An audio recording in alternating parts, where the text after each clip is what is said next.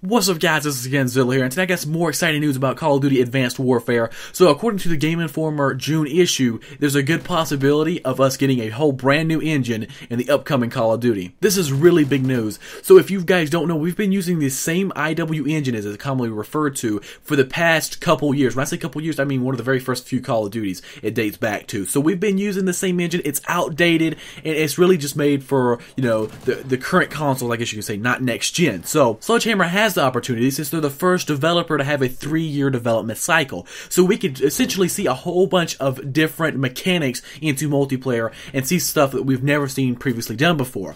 Because, see, like, Infinity Ward and Treyarch both just kept building onto the current engine and polishing it, and there you go, you have a new Call of Duty. But this is the first one that they might actually start from scratch since Call of Duty 2.